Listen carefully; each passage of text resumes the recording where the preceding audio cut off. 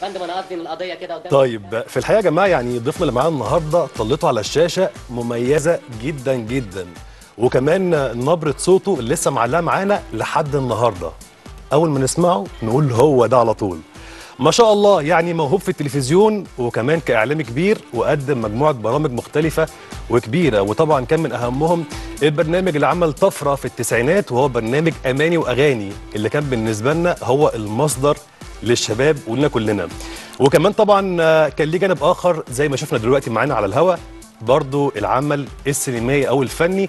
يعني ما شاء الله قدم أعمال مسرحية من القطاع العام والقطاع الخاص وكمان من مسرح الجامعة وبرضه قدم أعمال سينمائية مهمة جدا زي الناصر 56 أحمد زكي وكمان زوجة رجل مهم وهو في الحقيقة برضه رجل مهم.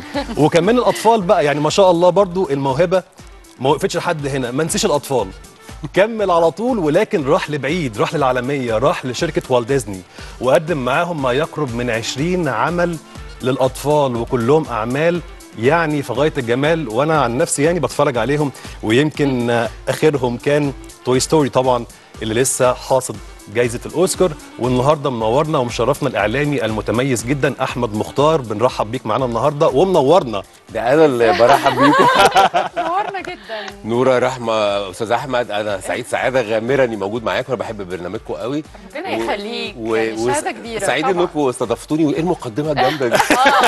عايزه بس يا أستاذ عايزة أقول لحضرتك ان إن فاروق ممكن أول مرة في البرنامج يعمل آه، تقديمة كده. يا سلام. آه والله العظيم. لا، إحنا مبسوطين جدا جدا. الله يخلي حضرتك. إن حضرتك موجود معانا. وإحنا نتعلم منك ومتشوقين جدا جدا إن إحنا نسمع الحدوتة من الأول لحد دلوقتي. آه، طويلة مستعد؟ قوي مستعد؟ سعيد جدا. طيب هي الصدفة لعبت دور كبير جدا في حياة حضرتك في الأول قبل ما تدخل عالم التلفزيون. احكي لنا بقى. صحيح. أنا كان عمري ما متخيل إن أنا أبقى ممثل أو إن أنا أبقى مذيع أو الحاجات دي. أنا شخص خجول جدا بتكسف. أنا كنت متفوق في الدراسة وأنا صغير بس كنت أكتر حاجة بكرهها إنه يقوموني أقرأ في الفصل. أوكي.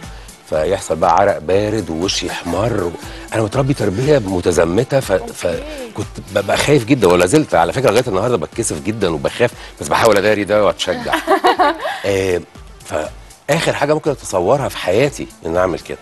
لما دخلت الجامعة طلعت مسرح تجارة كنت في تجاره القاهرة فلقيت ثلاثة هم دلوقتي مشهورين كانوا بيمثلوا مسرحية حاطين كرسي عاملينه عربية وقاعدين بي ومسرحية كوميدي.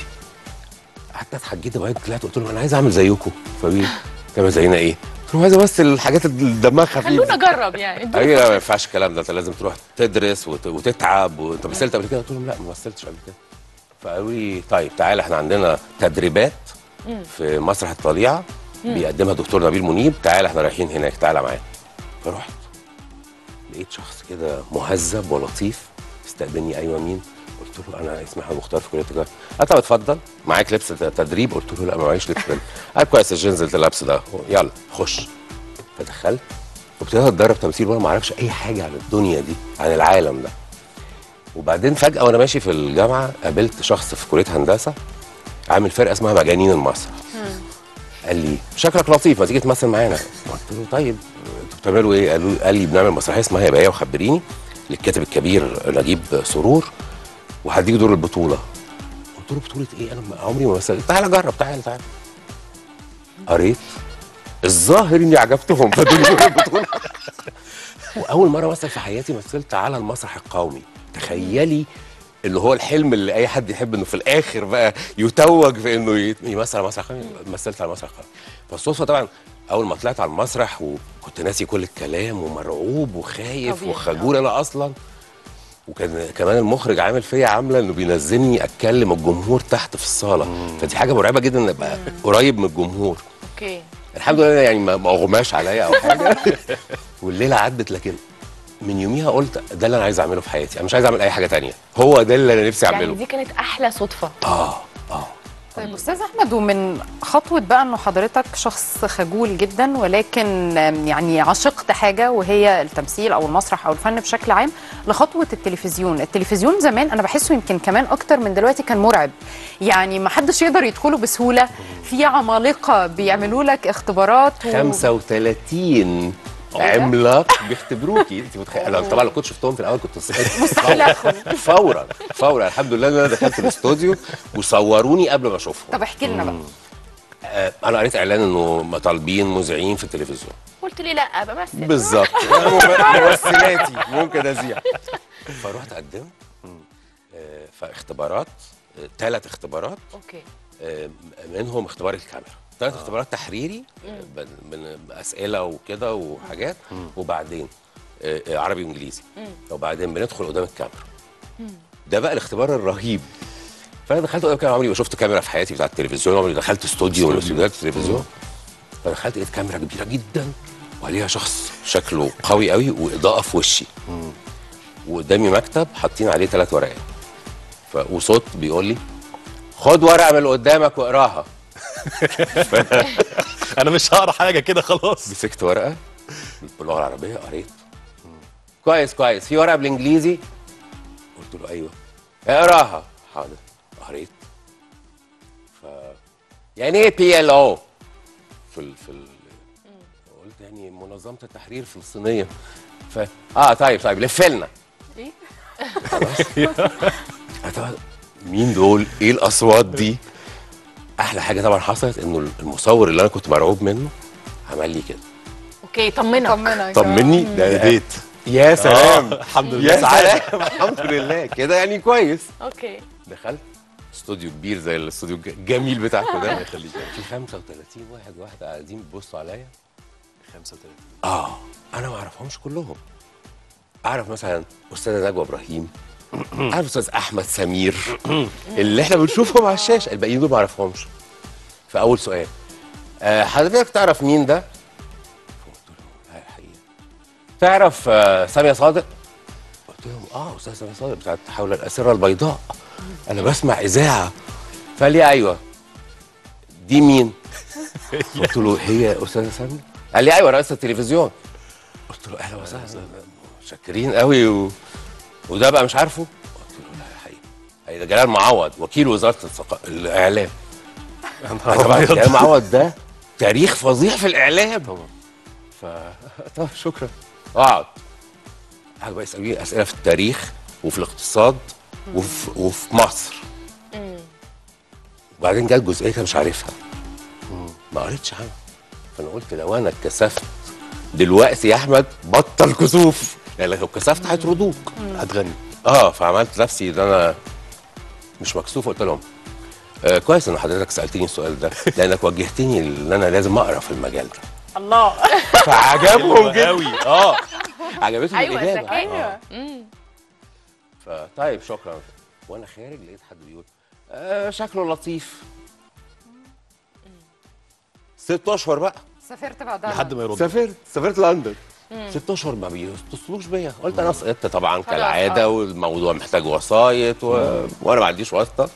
غير ربنا سبحانه وتعالى. فخلاص سافرت. كنت عايز أكمل دراسة مسرح. كان في حاجة دراما سكول كده في في لندن وقدمت فيها ودفعت الفلوس. فدخلت أول حصتين راحوا مكلمني تعالى بسرعة التلفزيون بعت لك إنت نجحت. قلت له يعني أسيب الكورس أنا دافع؟ أيوه ترجع رجعت. رجعت. آه رجعت لقيت هم ابتدوا فعلا كل المذيعين تقريبا توزعوا إلا أنا. فقال لي إحنا مش محتاجين. بعد ما رجعت؟ آه تعبت تشتغل مخرج مساعد إخراج. قلت لهم آه، طيب طيب. فواحد لطيف قوي اسمه سامي فوده لسه فاكره بالخير يعني. ناداني قال لي يعني إيه؟ أنت ناجح مذيع. قلت له طيب بس هم مش محتاجين غير مساعد مخرج. قال لي لا. تروح تقول لهم لا أنا عايز أشتغل آه، مذيع. مذيع زي ما نجحت في المسابقة. فرجعت تاني المكتب قلت للمدير قلت له أنا آسف أنا فكرت إنه لا ما ينفعش. رجعنا مذيع. أنا عايز أبقى مذيع. فطيب أقعد بقى لغاية لما ألاقي لك حاجة تعملها ومش عارف إيه. قعدت وبام آه، كانت الأستاذة عائشة البحراوي بتقدم برامج الشباب أيامها. فخدتني معاها كده بلية يعني أتفرج عليها وهي بتقدم وأتعلم يعني شوية. فأنا بقى اللي هو واخد على الحاجات دي في المسرح معايا؟ ال blank sheet آه ال blank sheet بتاعتي ال balance sheet آه وبكتب أي حاجة تعملها بكتبها وبكتب بتسأل الأسئلة إزاي بتحاور الضيوف إزاي. وهي مذيعة جبارة يعني اديلها مايك. يا سلام. متدفقة طول الوقت عندها أسئلة طول الوقت عندها مواضيع بتثيرها طول الوقت. وده كان يعني مدهش بالنسبة لي. فتعلمت منها كتير جدا. وبعدين جالها هي شغل رحنا كنا سينا بنصور هناك. جالها شغل في القاهرة. فقالت لي أحمد ينفع تكمل؟ قلت لها أكمل إيه؟ أنا عمري ما قالت لي لا لا معلش. طب بص اعمل اللقاء ده قدامي قعدت اتفرجت عليا بعد بعد ما خلص قالت لي الكتكوت الفصيح يطلع من البيضة يصيح. كمل كمل. قلت لها طب والمدير والحاجات؟ قالت لي أنا هكلم هو بقى في مصر قال لهم لا لا لا ما قال للمخرجين اللي معايا قال لهم اوعوا ما ت... ما يطلعش. ما يطلعش. إحنا كل دي تستات. خلاص. رجعنا معانا أربع حلقات من سينا. ف لأنه كان الأسبوع فالمخرجين قالوا ده كويس. طب شوفوا. لا لا لا. أنا اتكسف أقول لرئيس التلفزيون واحد لسه طالع اطلعه في أربع حلقات إزاي؟ ولا حلقة واحدة حتى. نطلعه في لقاء كده مؤقتا و... فقالوا طب إحنا منتجنا الحلقات روح اتفرج. أول ما اتفرج على أول حلقة قال يعني معقول. طب إيه لازم نوري رئيس التلفزيون هي اللي تقرر. فخد الحلقة ووداها لرئيس التلفزيون. قلت له آه فاكراه فاكراه في الامتحان. اعرض وقد كان. بقيت مذيع في التلفزيون. ودي كانت البداية. كان برنامج إيه وقتها؟ ده برنامج اسمه شباب سينا. أول شباب حاجة سينا. خالص. okay. أسبوعين ورحت مقدم أماني وأغاني. صدق أو لا تصدق. آه. بالصدفة برضه اماني واغاني بالصدفة؟ بالصدفة جدا. اتغيرت رئيسة القناة الأولى وجت الأستاذة كوثر هيكل السيناريست العظيمة. مم. فعايزه بقى تجدد كل دماء القناة الأولى. تمام. فراحت عامله اجتماع المذيعين قولوا لي أفكار. فطبعا ولا حد يقول أفكار إيه وهي سيناريست عظيم عندها كل الأفكار. قالت، بصوا أنا بفكر أعمل حاجة اسمها أماني وأغاني بفكر أعمل حاجة اسمها من غير ميعاد. بفكر أعمل حاجة. وقعدت تقول أسماء برامج. لكن المحتوى إيه؟ ما قالت لناش طيب اكتبوا بقى أنتوا وقرروا. فقعدنا بقى إدارة الشباب هنعمل برنامج اسمه أغاني. نطلع منه إيه؟ إيه رأيكم؟ ممكن نعمل فيه نعمل إيه؟ كانت أستاذة مجيدة قطب هي المديرة وكان كان لا حتى لسه أستاذ جمال الشارع ما كانش معانا. أنا ومدام عائشة بحراوي. والأستاذة نهال كمال. في. في القناة في برامج الشباب آه، المهم توصلنا للفكرة دي إن هو هنقول له أمنيتك إيه والأغنية لكن المحتوى نفسه إحنا عايزين الشباب يبقوا نجوم تمام. يتحولوا إلى نجوم الشباب اللي في الشارع ماشيين العاديين دول نحولهم لنجوم. ودي كانت الفكرة إنه إزاي ننجم الناس اللي ماشيين في الشارع طبعا البرنامج حقق نجاح كبير جدا وخاصة إنه كانوا كمان آه، يعني بالصدفة طالع جيل من المطربين الناس كلهم بيحبوهم آه، إيهاب توفيق مصطفى قمر كل الجيل ده كان لسه طالع وكانوا ناس نفسهم يتفرجوا عليهم. فالاثنين خدموا بعض يعني. طب إيه رأي حضرتك كده نسترجع شوية من أماني وأغاني؟ يعني نستمتع ونمتع كمان السادة المشاهدين. نروح نشوف جزء من البرنامج الأشهر أماني وأغاني ونرجع نكمل كلامنا مع الاعلامي الكبير أحمد مختار. يمكن من أحلى الحاجات اللي دلوقتي كنا بنشوفها هي المزيكا وحتى فاروق بيقول آه. إن المزيكا في الوقت ده كانت مميزة جدا ولحد دلوقتي لما بنسمعها بنسترجع كده ذكريات. طيب أنا عايز أسألك سؤال. سبب نجاح حضرتك في الوقت ده والصدفة. وأنا عارفة إن الحظ برضو بيلعب دور كبير. بس أنا متأكدة إن الحظ ما لعبش معاك بس في حاجة تانية. أنا كنت لسه بتخرج من لا الجامعة. كنت فنان. أنا عايزة أوصل لهنا. موهوب. لا عشان طول الوقت بي بيقولوا لنا حتى أنا شخصيا بيقولوا إن الفنان أي حتة تحطه فيها هي playmaker play هيتكيف. maker هيتكيف. واجتهاد كمان. خير لا يعني أنا كنت بشتغل 18 ساعة في اليوم. آه، بقدم أربع حلقات على القناة الأولى وخمس حلقات على القناة الفضائية. فواحد بيعمل تسع حلقات في الأسبوع. ما ما بسيبش التلفزيون بوصل الساعة 8 الصبح لو الكاميرات بتطلع 9 واقعد أشتغل لغاية الظهر وبعدين نروح نمنتج الحلقة وفي بعض الحلقات بتمنتج وتتذاع في نفس اليوم خاصة حلقات الثانوية العامة أو كده. فطول الوقت شغل. الاجتهاد مهم. جدا جدا جدا. تاني حاجة طبعا الص- الصدفة إن أنا آه، سني شبه كنت قدهم. قد الشباب اللي أنا مصادفهم فكانوا مستريحين وهما بيتكلموا معايا. فبيقولوا لي الأسرار بتاعتهم وهم مش مكسوفين مني. مفيش رهبة في الموضوع آه شوية. يعني مش راجل كبير قاعد بيقول لهم حاجات فهم حاسين ب- ببعد بمسافة. آه. فلا كان كانوا كانوا لطاف للغاية. و و وفكرة إن أنت تطلع نجم على شاشة بلدك ده خلاهم يبقوا بيجروا ورانا. يعني كنا بننزل ال- آه بننزل ال ال بالكاميرا. أنتوا أغاني. وأغاني. حشود من الناس كلها عايزة تطلع في التلفزيون. الوقت ده كان بصراحة وقت من ذهب. ده حقيقي فعلا. والله. لأن هي كلام من ده طلع. كلام آه طبعا. الإعلام الكبير طبعا طارق علام يعني. طيب أستاذ أحمد يعني يمكن برضو من ضمن ال- الحاجات اللي كانت مميزة جدا آه، في برنامج أماني وأغاني كان آه، اللقاءات اللي كانت موجودة وقتها وجديدة بالنسبة لنا لطلاب ثانوية عامة. ويمكن كان ده برضو حدث بالنسبة للطلبة إن حد ينزل يسجل معاهم في وسط الامتحانات. ده جوه الامتحان آه، وهم يعني- بيمتحنوا. طبعا لو ما كانش عندنا الصدى ده لو ما كانش عندنا آه، يعني تاريخ معاهم لطيف كانوا ممكن يطردونا. أنا قاعد بمتحن وأنت داخل تعطلني. طبعا. الوقت المستقطع لكن هم كانوا؟ لطاف قوي آه. معانا. ف... ف... فبعطل شخص قاعد بيمتحن ويجاوب وياخد يعني ينسى أنا والله صعب عليا قوي آه، و- و- في الحلقة دي. ليه يا ربي ما جاش أي حاجة وأنت بتقول لها ولا أي حاجة. فكانوا. وعملنا ده لمدة سنوات آه، سواء أنا أو الأستاذ جمال الشاعر أو الأستاذ علاء بسيوني أو الأستاذة جميلة إسماعيل. ف... ف... فكانوا ناس بيستنونا في الفترة بتاعت امتحانات الثانوية العامة. اولا لأن إحنا كنا أول ناس بيعلنوا الأوائل. وكنا بنروح نصادفهم في مكتب وزير التعليم ساعتها. أوكي. لأنهم بينادوهم يقولوا لهم أنتوا الأوائل. تكريم. فأول ما يقولوا لهم نروح إحنا مص- مصادفين موجودين. كان حاجة لطيفة جدا. في تفاعل ما بين التلفزيون وما بين الشباب كان كبير جدا. طبعا. وكانت برامج الشباب وبرامج الأطفال في الحقيقة كانت من أهم البرامج في التلفزيون المصري. بالظبط. اتربينا و- عليها. كلنا آه كلنا فاكرينها. يعني كان المواعيد كده معينة بنبقى حافظين. هنفتح القناه الأولى إمتى القناه الثانية إمتى هنتفرج على إيه؟ كان الجدول معروف وماشيين عليه. كلنا. أستاذ احمد يمكن الشغل مع يعني مش في استوديو الشغل مع الناس والاحتكاك بالناس بشكل مباشر بيكون في مش بس الخبرة ولكن بيكون في مواقف. المواقف دي يا إما مواقف كوميدية يا إما مواقف مؤثرة يا إما مواقف بتعلمنا حاجة. أكيد حضرتك قابلت كل ده. ده حقيقي.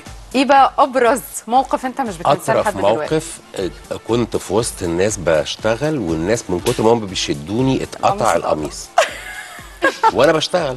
فتحتيه تي شيرت فرحت مكمل عادي, عادي جدا. ولا حصل أي القميص حاجة. بقى في إيديهم وأنا بكمل شغل عادي. كمل مفيش مشكلة. أي- هعمل إيه؟ ده أحد مثلا المواقف. موقف تاني دخلت مدرسة بنات. فجم الخمس دقايق من ما بين الحصص. فواحدة بس قالت برنامج أغاني وأغاني هنا. هجوم. فالفصول كلها نزلت. والبنات راحوا عاملين حلقة حواليا. بإيديهم كده عشان ما تأذيش. أنا قلت لحضرتك حاجة أصلا. قبل ال- عملوا كده عشان ما حدش يأذيني. خلاص لغاية لما المديرة بتاعت المدرسة بنات تطلعوا فصالكم مش عارف إيه؟ آه، حضرتك. ما كانش فاكرة اسمي. آه، ممكن تيجي على مكتبي؟ ده أحمد مختار ده. اتفضل اتفضل يا أستاذ أحمد. طلعت على مكتبها والبنات طلعوا وبتاع. فكانت حاجة يعني طبعا. كان بس في واقع للتلفزيون إحساس مختلف برضه مختلف يعني. آه، طبعا جدا. طبعا عار- عارفة ليه علشان زمان ما كانش فيه social media فالناس ما بتقدرش. توصل لنجوم مشغولة. ولا قنوات قنوات. كتير فما بتقدرش توصل. لنجومها ده كمان قبل ما يبقى في فضائيات آه بالظبط. ثلاث يعني قنوات في الفضائيه المصرية بس آه، بالظبط. قبل السو... السماوات المفتوحة آه. طبعا بعد كده لما السماوات المفتوحة فتحت آه. طبعا تأخ... إحنا اتاخرنا يعني ما بقيناش بنفس ال... القوة دي أو التأثير لكن فضلنا يعني ناجحين. ده حقيقي. طب أستاذ أحمد 8 سنين أماني وأغاني ها؟ وقف خلصوا 8 سنين. إيه بقى؟ يا خسارة. أسوأ شعور في الحياة. قوي قوي أنا اشتغلت سبعة منهم آخر سنة ما اشتغلتش. أوكي. ليه بقى؟ كان لازم أعيش حياتي الخاصة. يعني 18 18 ساعة في اليوم آه، جلد وشنا بيقع من كتر الشمس آه، آه، مفيش ح- مفيش أجازات خالص لا أعياد ولا جمعة كل ده أنا بروح أشتغل. كل يوم؟ كل آه، يوم. حضرتك كل بتقول يوم. إنه تسع حلقات في. الأسبوع. يعني أكتر من عدد أيام الأسبوع آه، أصلا. فما فيش حاجة اسمها إجازة. وبعدين فجأة اكتشفت إن أنا آه، وفي نماذج لده. مذيعين بيتجوزوا بعد الخمسين والحاجات دي. فقلت لا أنا مش هعمل في نفسي كده. مشهورين و... وهايلين. وشكلهم في التلفزيون يا عيني بيصعبوا عليا. رجالة كده محترمين. ما اتجوزوش لأنهم الشغل خدهم. وفجأة فاقوا وهم في الخمسين إنه لازم يعملوا أسرة. فقلت لا لا أنا هعمل أسرة.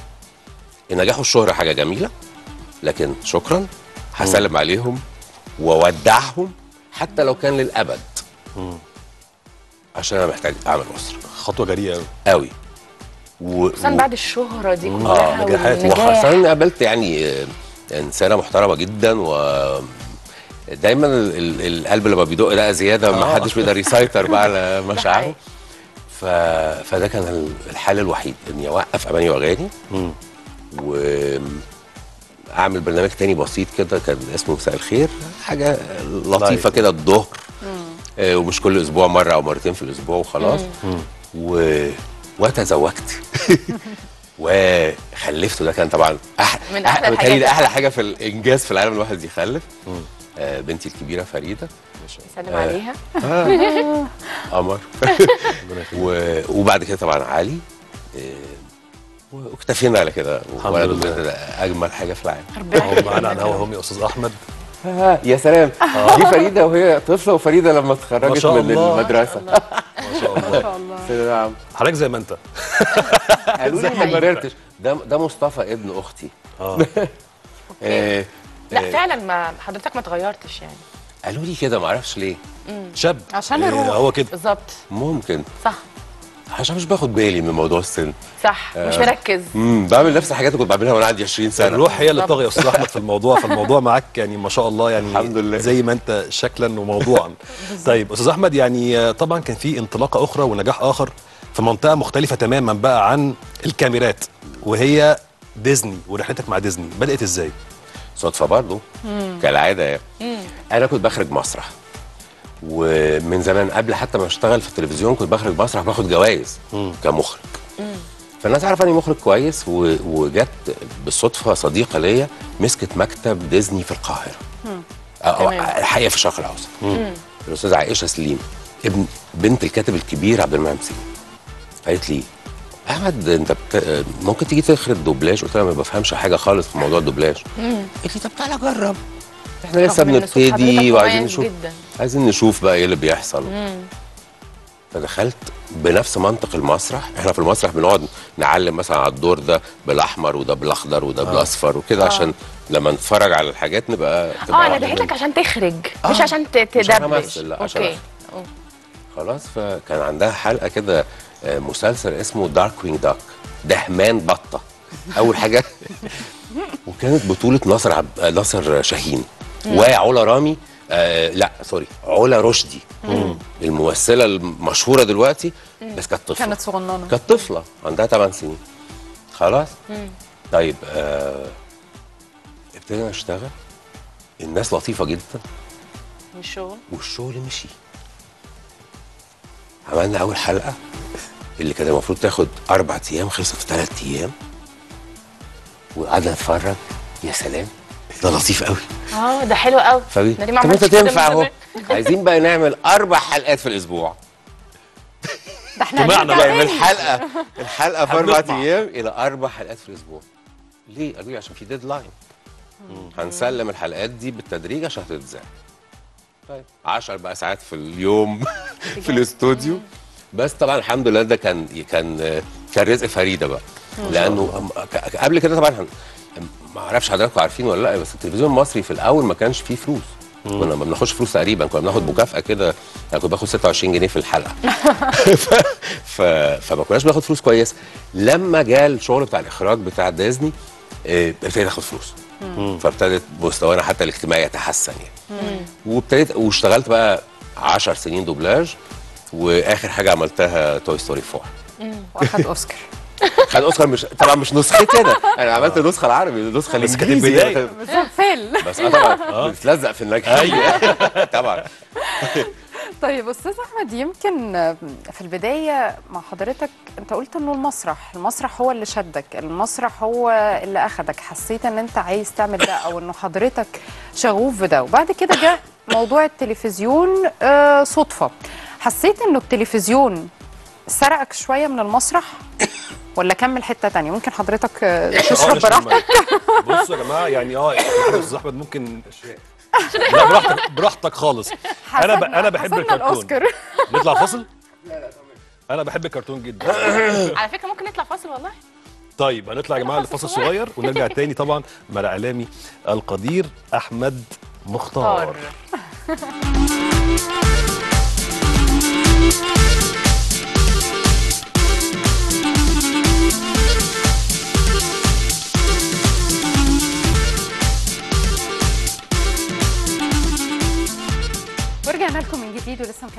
معاكم في Inbox ولسه مكملين المسيرة العظيمة للإعلامي الكبير اللي منورنا النهارده الأستاذ أحمد مختار. وألف سلامة على حضرتك اتحسدت على المسرح. المسرح. المسرح طبعا آه، من أهم الفنون اللي موجودة لأنه فيها كل الفنون. يعني أقدر أتفرج على التلفزيون وعلى السينما وعلى الاستعراض وعلى الديكور وعلى العمارة على كل الفنون تقريبا رأس. كله موجود على خشبة المسرح. فهو بيلم كل الفنون. السبع فنون اللي موجودة لغاية النهارده. فهو فن محتاج طاقة جامدة آه، ومحتاج إبداع كبير ومحتاج تفرغ. لأنه ملوش شريك قوي. وخاصة مثلا من الساعة 7 للساعة 10 ولا 11 لازم الواحد يبقى في الفترة دي مخصص الوقت ده للمسرح. أنا دلوقتي بخرج مسرحية. في مسرح الشباب. أه، مسرح الشباب كان عامل حاجة اسمها ابدأ حلمك. ورشة كده لطيفة. خرجت دفعتين والدفعة الثالثة هتتخرج. وأنا بخرج لهم أم، أه، مسرحية م- من تأليف دكتور ياسر علام عن المجانين. عن إيه؟ المجانين. المجانين. آه. فكل اللي على المسرح أه، مجانين. بشكل كوميدي طبعا. حلو حلو ال- الفكرة لطيفة. واكتشفت طبعا إحنا بنقعد نعمل بقى أبحاث ونشوف الشخصيات عاملة إزاي وكده. اكتشفت إنه يعني كلنا طبعا بدرجات فينا حتة. متفاوتة آه فينا حتة مجنونة عندنا حتة كده. بايظة يعني طبعاً. بس ب... آه بدرجات متفاوتة إنما اللي, طبعا بيستمروا في الحكاية دي كتير اللي هم اللي بيدخلوا المستشفيات لكن غير بيتجننوا مستشفيات. فعلا. آه آه. أيوة. لكن غير كده كلنا عندنا حتت بالظبط ترشقه شوية يعني أنا والله أنا شايف إن ده طبيعي لأي حد يعني عنده الموهبة ال- ال- الداخلية مدفونة جواه لما بتنفجر ما بيبقاش ما حدش بيعرف يوقفه هو آه. بينطلق. صحيح. فالناس بتقول عليه إن هو بيت- بيتلبس. خلينا نقول مش طبيعي. بتاعت المسرح. وضغوط الحياة. يعني كمية الضغوط اللي الواحد بيتعرض لها طول الوقت. تمام. وفكرة التسابق على النجاح والتسابق إنك تبقى في المركز في مركز كويس وفي مرتبة متميزة. كل ده بي بيعمل لك يعني حالة من حالات الجنون في التسابق. طيب حضرتك ممثل وحضرتك فنان غير آه، آه، إعلامي كبير طبعا. نرجع بقى عايز أرجع بقى شوية للدوبلاج. وحضرتك بتخرج أكيد في كده حتة عايزه أدخل أجرب صح؟ أنا بعمل زي ألفريد بعمل زي ألفريد تخيلت. هيتشكوك. كل فيلم بطلع في character صغير. أيوه. بعمل والله كده فعلا. ما حدش قال لي والله. بعمل كده فعلا. بس أنا حسيت. جدا. يعني يعني لو شفتي نيمو في آه، كده كابوريتين بيتخانقوا أنا الكابوريتين لو في مثلا شركة المرعبين المحدوده okay. في رجال الأمن ثمان رجال أمن. أنا الثمان رجال أمن دول. يعني في دايما هتلاقوني موجود في في الأفلام. موجود. في آه. touch ما أنا مش. هاخد آه، د- دور, كبير لكن هطلع في الفيلم بتاعي. بتاعي. ما شاء أنا حر بتاعي. إزاي الفيلم بتاعي لازم أطلع فيه. فبعمل كده اولا عشان اهزر ممكن تعمل لنا أي صوت؟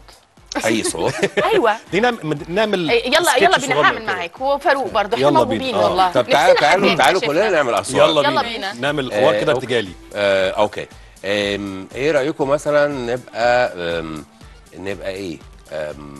ممكن نبقى فراخ أو نبقى قطط قطط. أو آه. نبقى كلاب. قطة. قطة وقطه قطة، قطة. قطة. وإحنا آه كلاب. كل... يا سلام ليه كده يا أستاذ أحمد. بقى ماشي رحمة. نعم. انتي ليه فروتك أبيض في أسود في رمادي علشان أنا مختلفة وبحب الاختلاف. أنا مامتي بيضة وبابا أسود. فجيت كده. ابعدي عن فاروق. ده أنا بحبك يا فاروق اخس عليك. وأنا كمان بحبك. نورة دي إيه؟ ابعدي عن الأكل بتاعي أنا بقول لك أهو. ابعدي عني. مم، مش عايز حد يقرب من الأكل بتاعي ولا يقرب ناحية البيت بتاعي. أنا عايزه أقول لك ان أنا أكلت منه. لا ما كناش عايشين في بيت واحد. كنا أكلناكم. قطعناكم بره. إحنا بنعمل كده. بتعملوا كده أصلا ما هو ده بقى الجنان الطبيعي بتاعنا اللي بيطلع الواحد بروحه الطبيعيه حاجة لطيفة أوي يعني. طب أستاذ أحمد يعني ما شاء الله من من الإعلام وبرده من الفن وأبو الفنون المسرح للجزء بقى اللي يمكن ال- المهم جدا في حياتك والسينما واشتغلت كمان مع يعني مع العملاق الكبير الراحل أحمد زكي في ناصر 56 وكمان زوجة راجل مهم. كلمنا عن البداية بدأت إزاي؟ بالصدفة. برضه إحنا عرفنا كلمة الحظ.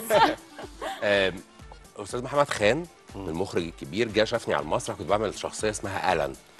آه، مجنون برضو ما أعرفش إيه علاقة المجانين بايه آه، آه، ده شخص مريض نفسي. فجأة انتابه حالة من الخبلان وطعن الحصنه في اسطبل. So complicated. فخدوه كده ودوه ال- المستشفى.